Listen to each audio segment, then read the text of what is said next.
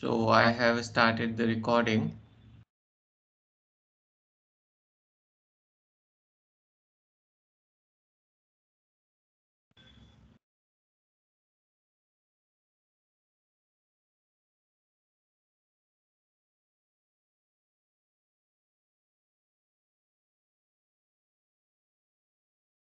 No question from the previous lecture? Everything is fine?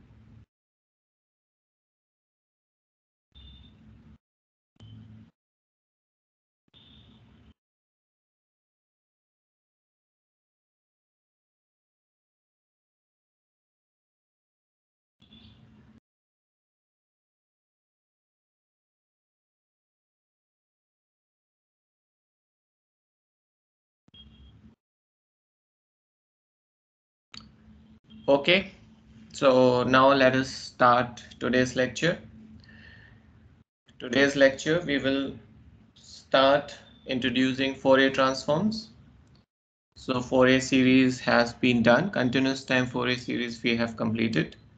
We will look at discrete time Fourier series after we have finished Fourier transforms. Okay. So, so far we are in the continuous time word and we will like to remain in this word for a few more lectures and then we will move to discrete time signals. So let us see and recap few of the things that we have learned. So let us look at this signal. This is a periodic signal. Okay, with period capital T. Simple signal. We have also calculated its Fourier series coefficients. Right, we have done this. So the Fourier series coefficients of this signal is this. I think I have written this in terms of D also. So duty cycle, sinc, K pi D right? So you can see that this is same as this thing. So if I plot the line spectrum of AK versus K, the line spectrum will be something like this. I, I could have plotted AK versus K or AK versus omega. One and the same thing, right? Because every K corresponds to a complex sinusoid at a frequency k omega naught. Right? So I, you, you could choose x-axis as per your convenience. And the envelope of this line spectrum will be sinc because of this. Right? We have seen this, right? Any question here?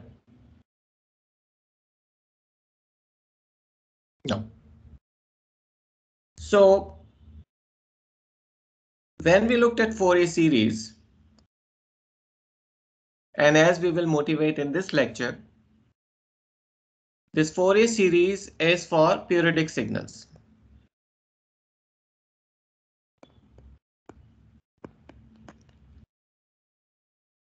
And Fourier transforms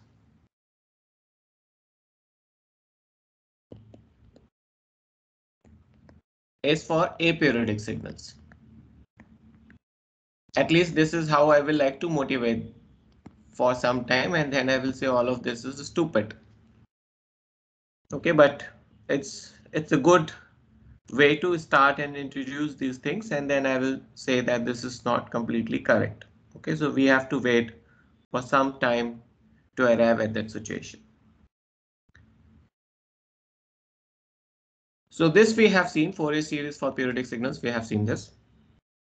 And now we are going towards Fourier transforms, which are basically for aperiodic signals. OK. Now, this is the AK as I have said in the last slide. And what I am doing is something very trivial. I can take this T to this side and I can write it like this.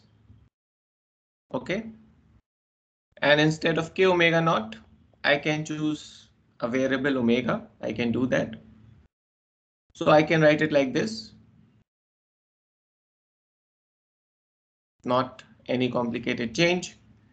And I can plot AKT. I can plot this versus omega. Right? Everything remains same. This is just another way of uh, representing a line spectrum.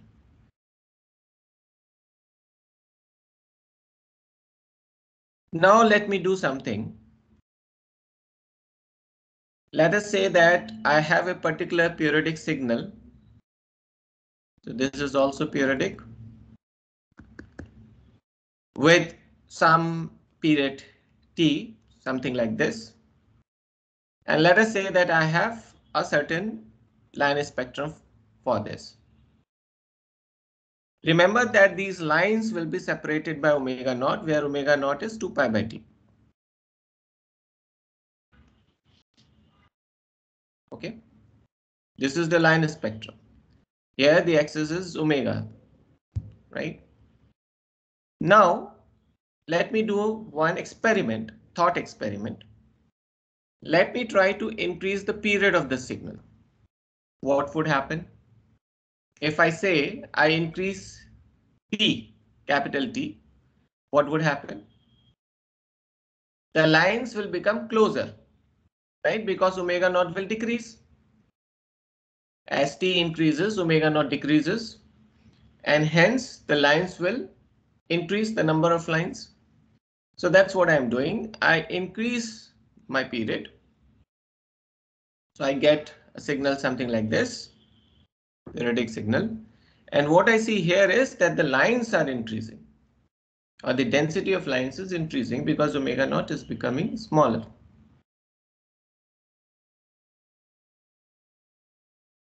Now let me do something else. I further increase the lines. I further increase the T. If I further increase the T, what would happen? lines will become even closer. Right? And now the final step is let me choose the t to be infinity. This t to be infinity. If I choose this t to be infinity, what should happen? Should get a continuous spectrum. Okay, no lines. Instead of a discrete spectrum, what I will get a continuous spectrum. Now what has happened to this signal? This is periodic with period t, capital T, where t tends to infinity. So this is an aperiodic signal.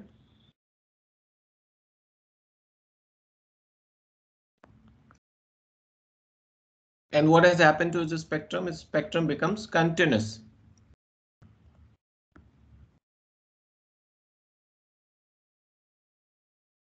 That's the first very simple thought experiment. I have not made any uh, or I haven't used any complicated thing here to explain this. This is obvious. So now let me present two important conclusions which should stick in your brain or mind forever, possibly, if can, if you can retain this. A, period, a, a periodic signal aperiodic, will have a continuous spectrum. And the tool will be Fourier transforms, analysis tool. Periodic signal will have line spectrum or a discrete spectrum. And this should be analyzed by Fourier series.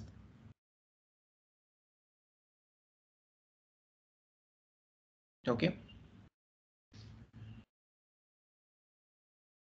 Now, let us try to derive equations for Fourier transforms. Any questions so far? No. Suppose I have a periodic signal, something like this. Now this signal is time limited Okay, time limited means that this is non-zero only in a finite time. For example, let us say if I have a period like this, outside this period, this will be zero. OK, so I'm assuming my signal to be time limited. That's the first important thing. OK, for deriving these equations. And let us say that this time limitation, this time period for which this is non-zero is capital T. So let us assume that we have an aperiodic signal like this. Of course, I am making some simplifications here.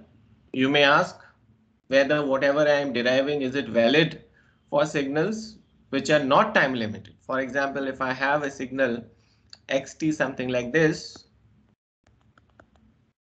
you can have a signal, right? Which goes in forever. Deriving the equations for this signal is complicated and we will not do this.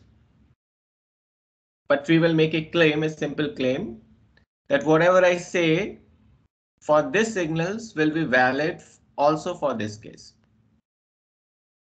Of course, in certain conditions, which we will point out.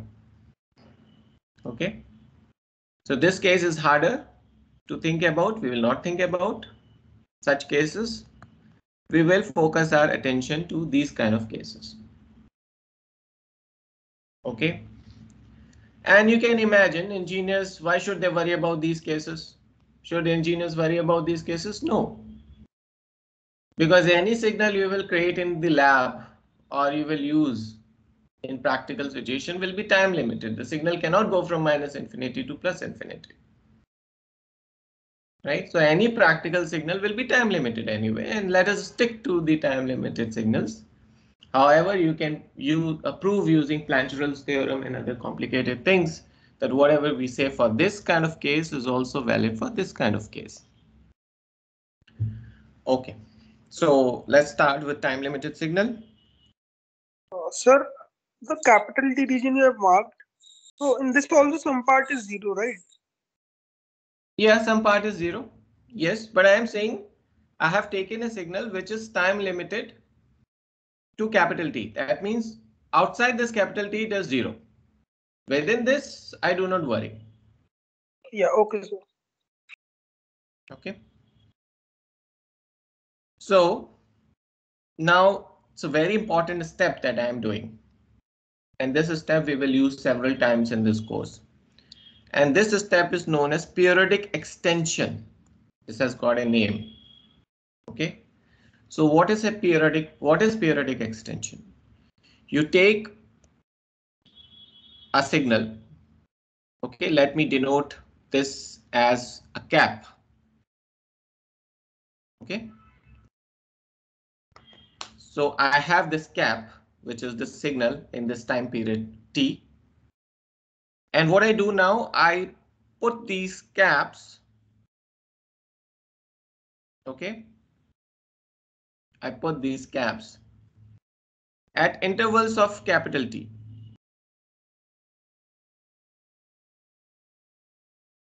Forever. And thus, I'm converting an aperiodic signal to a periodic signal, right? So if my signal is time limited within a certain time period t, I can create replicas of this these signals at multiples of this capital T. And I can create a periodic signal, right? This is known as periodic extension of an aperiodic signal.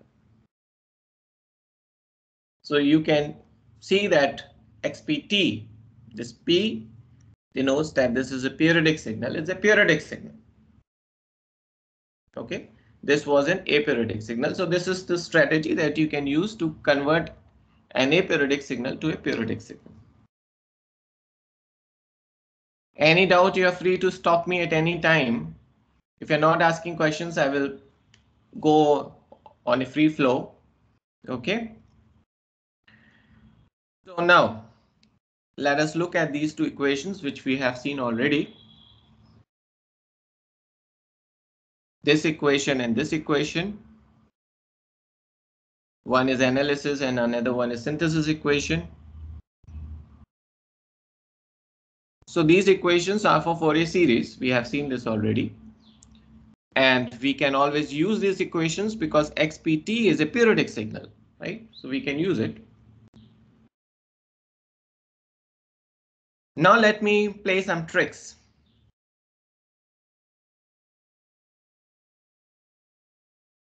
First, let me try to analyze this equation. This is a simple equation from Fourier series. Again, I repeat, xpt is a periodic signal. I can use the same equation, no problem. And the period of this is capital T because it was periodic with capital T. xpt is periodic signal with capital T. OK, so everything is straightforward. Omega naught here is 2 pi by t, right? Let me play some tricks. xt and xpt. They are the same signal in this period, in this period of t, right? They are the same signals, right? You remember xpt was something, xt was something like this. And xpt is also something like this in this period and then you have other copies, right? So xt, this and xpt, they are same within this period, within this time interval. So what I can do, instead of xpt here, I can have xt. Clear? Very simple exercise. Step three is because xt, this signal only exists between minus t by 2 to capital T by 2 minus t by 2 to plus t by 2. Instead of this limit, I can change the limit to minus infinity to plus infinity. I can do that. Right? Sir? Yes.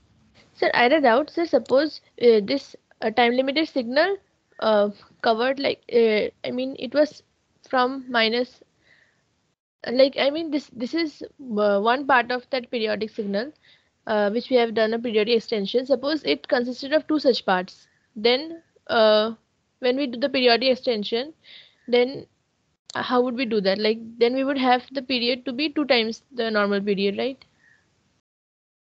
So I think Uh, we can what- what do you consider mean that entire Sorry? thing as one cycle now. Hmm, then would that be would we do that or we will take the half No. xt is a periodic signal with whatever period it has. Let us say it's uh, sorry, xt is an aperiodic signal. It's not a periodic signal. And it any aperiodic signal will have a finite time support, right? Hmm, yes And that finite time support is capital T and you can always create an periodic signal out of this aperiodic signal by creating its replicas at integer multiples of t. I didn't understand your question. Why do you think xt will have two parts and so on and so forth? No, so like suppose here we have a one triangle and like similar triangle we had uh like two the concatenation of two such triangles was my xt. Yeah, so this is your xt, right? Yes, sir. And we are replicating this. Uh, so then in the final one we will have copies of this which will have uh, time period to be half of the uh, half of the that of we find out by replicating I mean. Yeah, yeah, sure. So now I understand. Suppose xt is something like this. And again, to generalize, I can have it like this. Okay. Mm. Now, if I do its periodic extension, so this is the question. So I will have a situation created like this. where it may seem that I can take the period instead of capital T, I can take its period as T by 2. Okay, is this your question? Yes, sir. Yeah, it doesn't matter. For example, in AK, if you are integrating this in this interval, and if you're dividing by capital T, or if you if you integrate this in this interval and divide by t by 2, your AKs will not change. Right? Yes, sir. Okay. The simplest uh, simplistic thing to do is just to integrate in one period in t by 2 if you have that's fundamental period is t by 2 then the simplistic thing is to integrate this in one period and divide by its length. That's the simplistic thing but it will not change. Uh, the values of ak will not change whether you integrate of let's say for five periods and divide by the length of five periods or 10 periods or 100 periods or whatever. Okay? Here we are saying that we integrate this in this period, period of t, and then we divide this by capital T. It doesn't matter. Okay, Yes, I got it. Thank you. okay, so xt was this, and then I changed the limits from minus infinity to plus infinity. Any other question on this?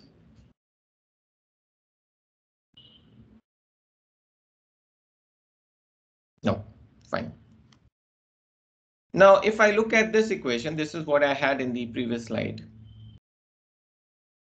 And if you remember some previous lectures, I have defined this integration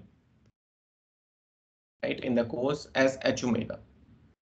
And I have claimed that this is the frequency response. Okay, and we have also seen a reason why this is known as the frequency response. If this is the impulse response, this will be the frequency response. Now, if I believe into this definition, I have to believe this because this is how I've defined this, right?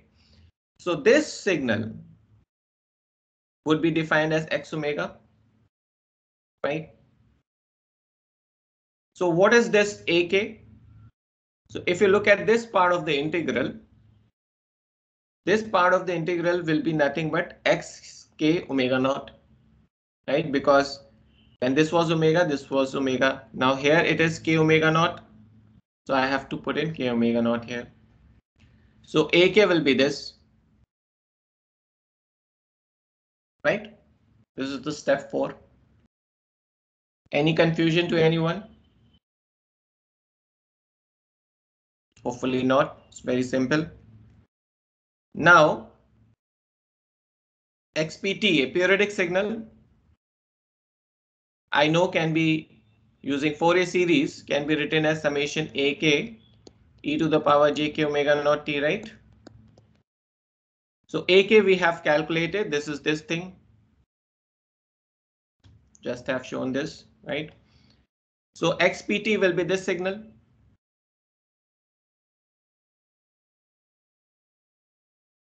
Clear?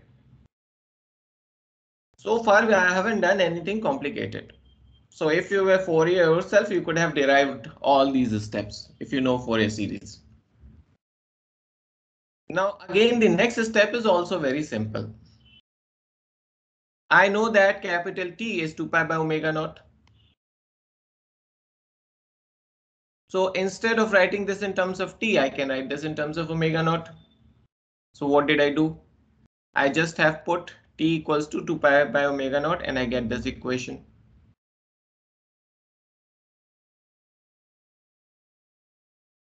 Okay, now next step is also very simple. What happens if T, this capital T is infinity?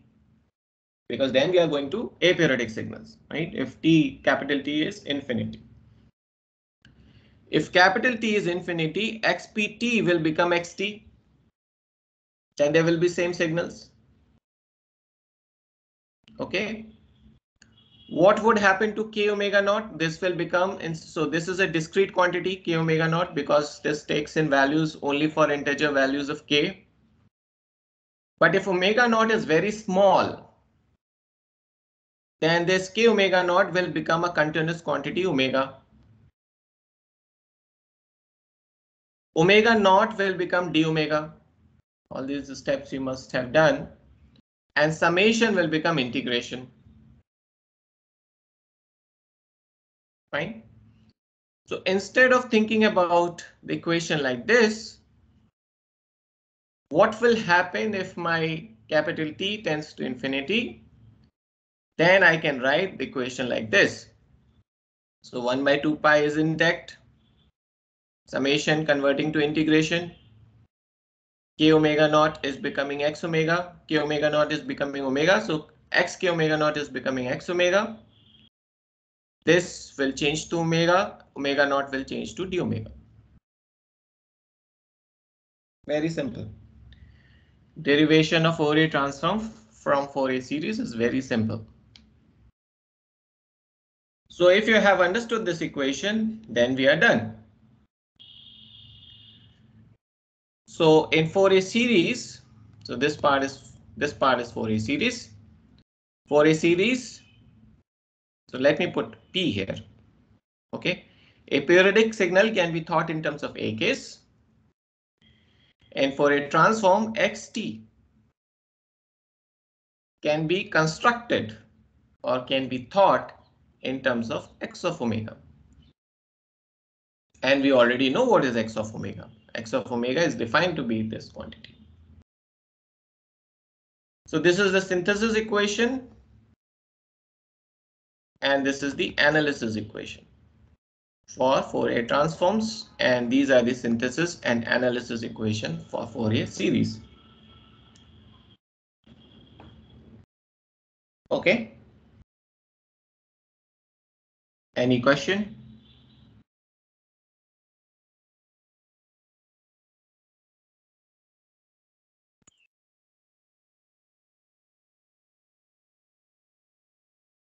Can you Okay, show the previous slide once? Previous slide, yes.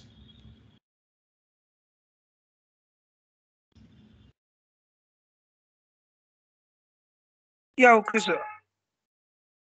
Okay.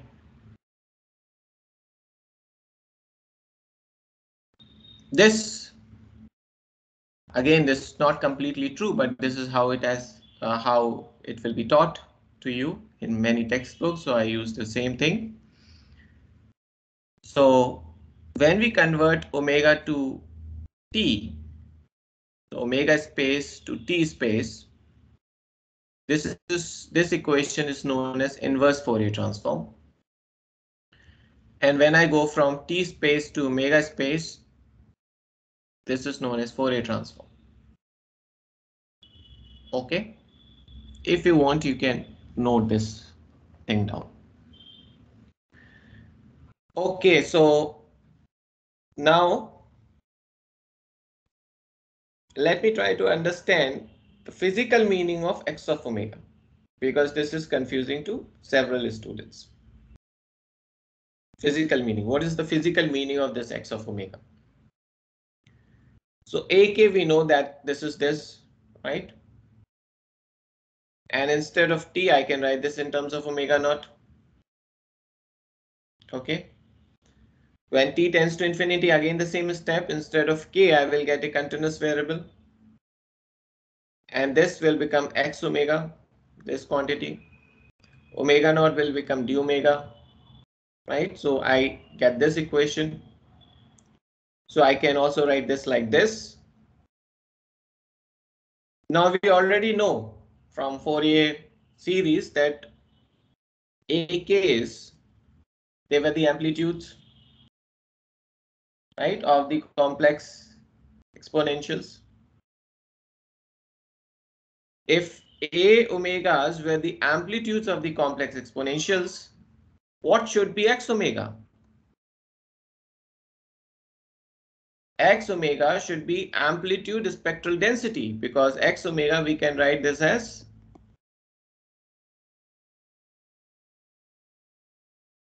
right so we are dividing amplitude by frequency. So this d omega is frequency, radian frequency or something. Okay. Because of this 2 pi by d omega, you can also write this as a omega by df. It's one and the same thing. So here we are dividing amplitude with frequencies. So this should have got the unit of 1 by hertz, right? So x omega is actually amplitude spectral density. It is not the amplitude. This thing you have to keep in mind. Okay, it's an important idea. Usually for continuous things, we have a density function. Okay, for example, uh, in 12th standard, you might have seen that if you have a certain charge Q, capital Q, spread all over the line, then we talk about the charge in terms of charge density, linear charge density, and so on and so forth. So similarly, here we talk about, so x omega is amplitude spectral density, not the amplitude. Okay. Now one or few small points. I think I'm going too fast today. So you have to stop me. So if I look at these two equations which we have derived. So we can suppose we have a signal xt, okay, any signal xt. And suppose I calculate its x omega. Okay, using this equation. Then if I put in x omega in this equation, I get a signal xt tilde. That means there is some error signal produced, which is simply the difference between xt and xt tilde. See, these two equations represents the transforms. So from xt, I should be able to go to x omega, and from this x omega, I should be able to get to xt. This should be true, otherwise there is some problem, right? You have a nice signal xt and you have constructed out x omega for this, and from that x omega, you should be able to think about xt. So these are transforms equations. And suppose when I plug these two things in this equation and I get a signal xt tilde which is different from xt, that means there is some error. Okay, and what I ideally want is this error signal to be zero for all values of t. This is what we will want. We want et to be zero for all values of t. But will this be like this? Right? Not necessarily. Okay. So there are certain conditions in which you can think this in this term, otherwise it may not be true. In general, it may not be true. Okay. So let us understand when this will be guaranteed to be true. So again, like in Fourier series, if my xt is square integrable, that means if this is finite or if xt has a finite energy, then this is guaranteed that what is guaranteed if xt has a finite energy? It is guaranteed that energy of Et will also be tending to zero. Okay. Energy of ET will be guaranteed to be tending to zero if xt has a finite energy. That's one way to talk about convergence of Fourier transforms. Sir? Yeah. Um, sir, I had a doubt. So here, um, generally, when we are talking about continuous time Fourier series, like our main aim is that we'll convert the Fourier series into some discrete line spectrum so that we are able to analyze because our computer is able to store discrete signals, right? Yeah. Then sir, in Fourier transforms, we have a uh, time limited signal. Then why are we converting it into a continuous line spectrum? Like how would that benefit us? This is a very, very good question. And I appreciate this question at this time. So you are completely correct that Fourier transforms are useless, right? From signal processing point of view. You see, I, I want to talk about this uh, sometime in the past, but because this question has been raised, let me clear this thing up. So the question is, what is the relevance of Fourier transforms for engineers? Because you see x omega. x omega will be a continuous time signal. Now, if we have a continuous time signal, we cannot store this in computers. Right? We cannot do this. So all this, whatever we are studying, is for a reason which will become clear after a while, not at this stage. So this x omega will be something which will be useful, uh, useless for engineers because you cannot store this signal at all in computers and so on and so forth. So as Srimanti has suggested that we should be talking about Fourier series. But if you look at Fourier series also we have a problem. So let us look at the problem. There are two problems. So we have two tools that we have studied. One is the series and one are the transforms. Right? Transforms we have a problem, right? At least in this case, because the transform domain signal is a continuous frequency, if you want to say it that way. That means we can definitely not store this in computers, so we have issues, not useful. Fourier series also has an issue. What is the issue? It is for periodic signal. Periodic signal, why would you transmit a periodic signal? Right, generally we want to transmit aperiodic signals. The information signal should be an aperiodic signal, otherwise there's no information in that signal, right? If you have these triangles, and if you know that this is a periodic signal, why would you keep on transmitting the triangles? Right? So series has a problem, engineering problem that this in concept is for periodic signal. We do not like communication engineers do not like periodic signals at all. Now, so we thought that let us go and construct a tool for aperiodic signals so that we can use it. But then we have a problem that this transformed signal is also continuous frequency. So it seems that we are living in two bad words, right, at this moment. And we will use uh, and study a few more transforms and then we will see how we get rid of these two problems at the same time. OK, we have to wait. It's a very good question, though. OK. You have to wait for the climax, Srimanti. Okay, sir. So, Um, yeah, so, here I was. Yes.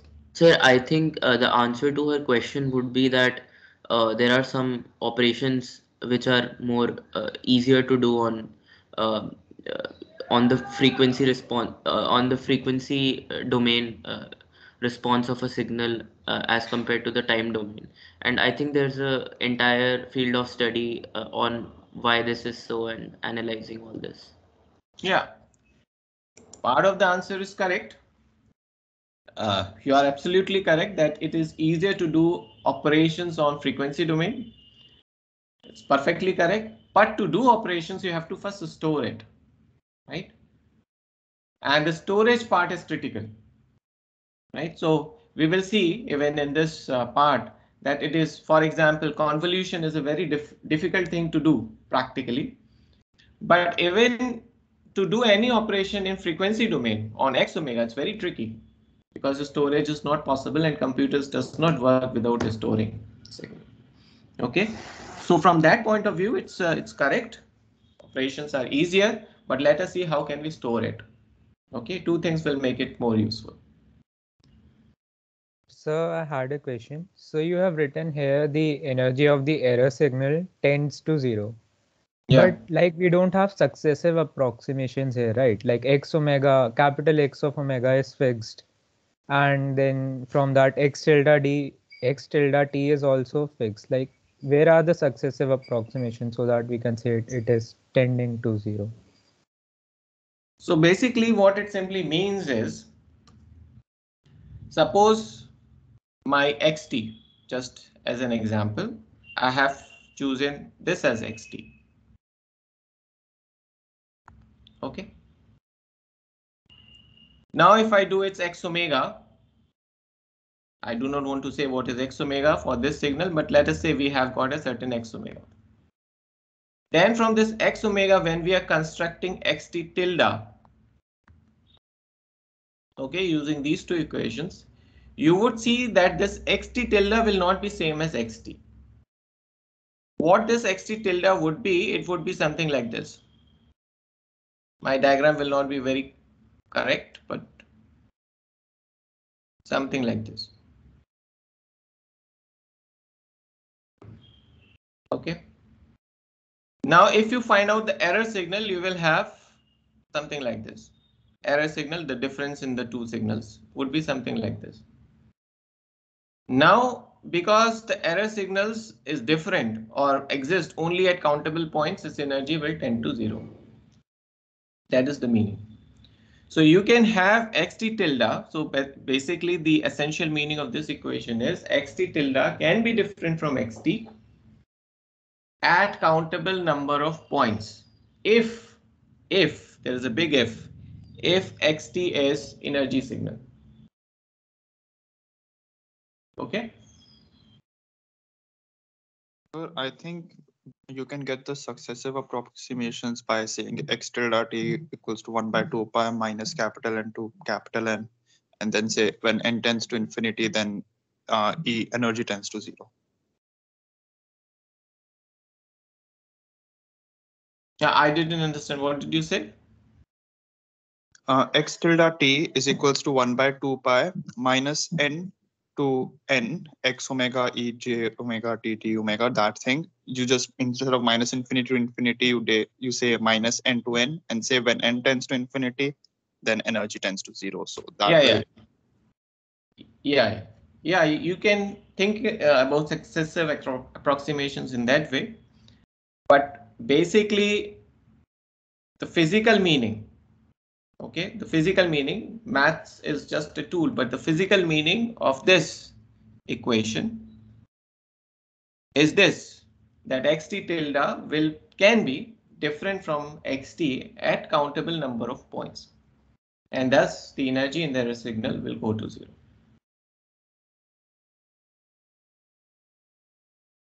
Now that's the only one way to think about it. There is another way to think about this is by Dirichlet conditions. Again, we have seen all of this in Fourier series. For Dirichlet conditions, the xt should be absolutely summable. And xt should be well behaved. And I again leave it to you to understand what is meant by xt being well behaved. OK, so you can read Oppenheim. It has a lot of uh, details on what is meant by xt being well behaved. So go through it. And if you observe these two things, then we can show that ET tends to zero except at discontinuities. Okay, you can also prove this and the formal proof of all of this, we are not uh, looking at the proof, but if someone is interested in looking at the proof, proofs of all of this, then you have to see Plancherel's theorem. Okay. I think in maths at some stage you may do this uh, these Plancherel's theorem or you might have done it. I don't know. So formal proof of these things lies in Plancherel's theorem.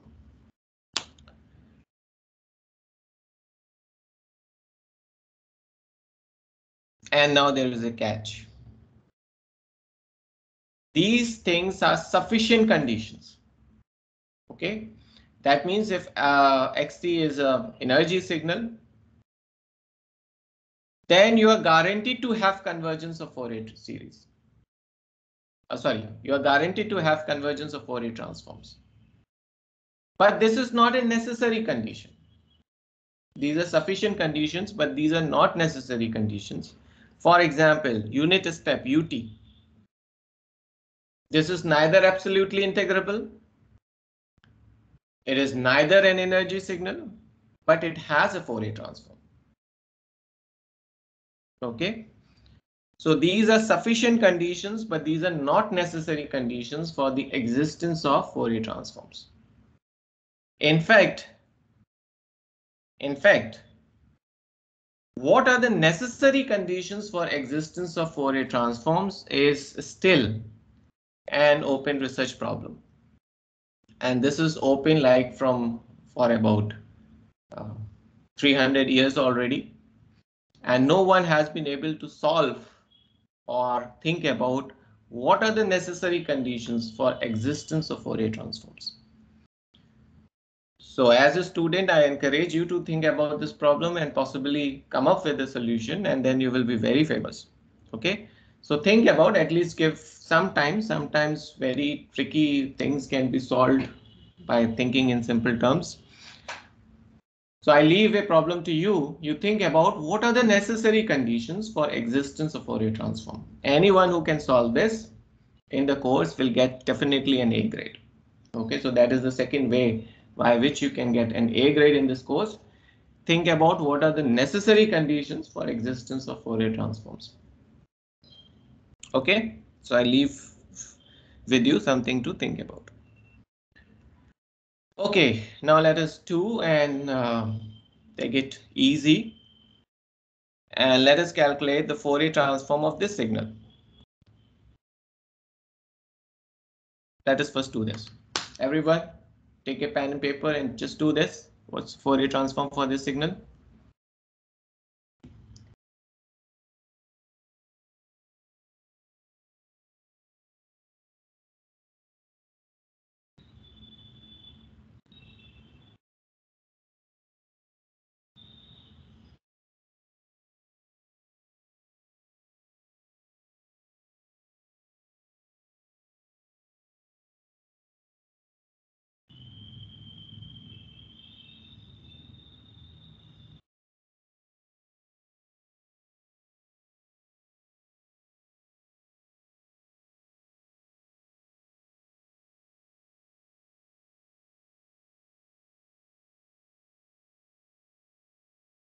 Yeah, the correct answer is 1 upon a plus j omega.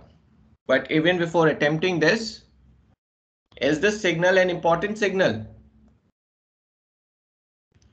Is this signal an important signal to be to be calculating its Fourier transform? Yes or no? And why yes?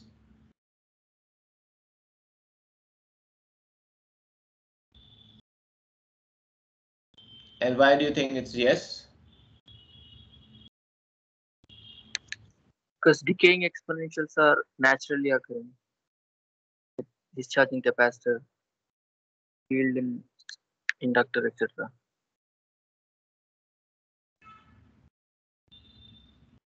So it is the solution of the accumulator, that thing, when we have feedback system. Yeah. So the basic CT system that we have seen, basic CT system, the canonical CT system, which looks like something like this, right?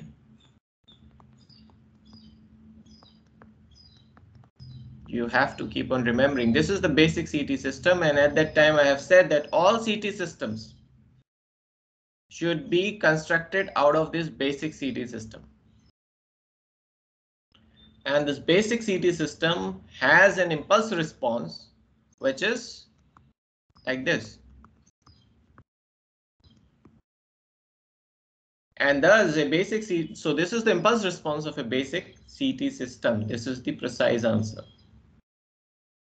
Of course, with feedback. OK, so that's why it's very, very important to understand what is the frequency response of a basic CT system. OK, so now let us see. I think it's very straightforward, no complications. So this is the signal, right? And then we multiply this thing and integrate with respect to time. We are integrating with respect to time, so this should not be a function of time, right? It should only be a function of omega. So now ut, we can absorb this in the limits. So now we can remove this ut and change the limits from 0 to infinity. And we can combine these two complex exponentials like this. And then you know that x omega will be this signal. What is mod of x omega? Mod of x omega will be this. And what is angle of x omega? Angle of x omega will be this. Okay, simple things. Right? Now there is an important concept which, uh, which I will like to introduce and then possibly end this lecture. Answer. Yeah. So the fourth option was low pass filter. Can you explain this once? Yeah, it's a low pass filter. This is also correct. This is also correct. This is also correct. This is also correct. So all options are correct. The low pass filter means omega is less, uh, omega tends to infinity, then x omega should be zero. Yes. Okay. Okay. So I will I will explain. I'm going to explain what is this low pass filter. So first of all, let me go and look at this mod of x omega, which is this signal in little bit more detail because again this is an important uh, frequency response. So this is the diagram of mod of x omega. So I will write it again. So as you can see that as omega increases, this will keep on decreasing, right? It's an even function. That also is clear. And when omega is zero, then the value is 1 by a. Okay. Now, when omega is a, when omega is a, this is what? 1 by root 2a. So when omega is a, this is 1 upon 1 by root 2a. And similarly, because this is an even thing, omega minus a, this is also 1 by root 2a. Now there is an important concept in communication engineering and in other fields also is to calculate 3 dB point. What is 3 dB point? So normally, and I think this we will prove in this tutorial or maybe next tutorial, but sometimes we will prove this. Normally the peak value of mod of x omega normally, not always, but normally the peak value of mod of x omega is at omega equals to zero. And then you see for what frequencies, for what value of frequency, this mod of x omega decreases by 1 by root. Okay, for example, if here the amplitude or amplitude spectral density or whatever is 1 by a, you want to find out for what value of omega the amplitude spectral density's mod is 1 by root 2a. So this frequency is known as 3 dB frequency. Okay. Why is this known as 3 dB? You can use when we are thinking about dBs. We normally use this conversion 20 log 10 R, where R is the ratios of the amplitude. Okay, ratios of the amplitudes. You can also think about dB in terms of this relationship. Let me say P, where P is the ratios of power. So you can use either of the two. So here, because we are interested in the ratios of the amplitude spectral density, so we will use this definition. Okay, dB. So if my R is 1, what is in this in dB? 0, right? 0. Log 10, 1 is 0. You can see when this R is root 2, then this is 3. When this R is 2, this will be 6. When this R is 10, what it would be? 20. Okay. So 3 dB point corresponds to the frequency for which the amplitude reduces by root 2. Okay. Clear? So I have already said this. So this is known as 3 dB. This frequency, this is known as 3 dB bandwidth. So normally if if I just look at one-sided bandwidth, which is this range, this is one-sided bandwidth. So bandwidth means for what range of frequencies my amplitude lies above 1 by root 2 of its peak value. OK. Of course, the two-sided bandwidth will be this range. And you can see that because this is even the two-sided bandwidth is twice one-sided bandwidth. In communication engineering, out of convention, we normally, when we say bandwidth, okay, when you hear the word bandwidth, we normally mean one-sided bandwidth. Okay, this is just by notation and convention.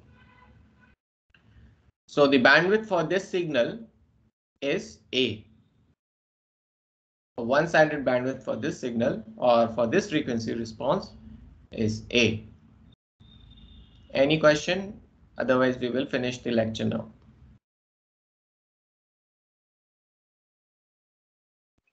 So when we say bandwidth, it's implicit that we're talking about one-sided bandwidth, right? Yes. Okay, sir.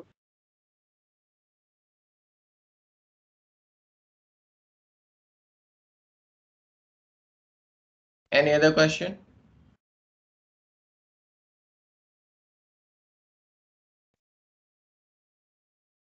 Okay. Thank you so much for attending this lecture. See you on Friday. I take care. Thank you, sir.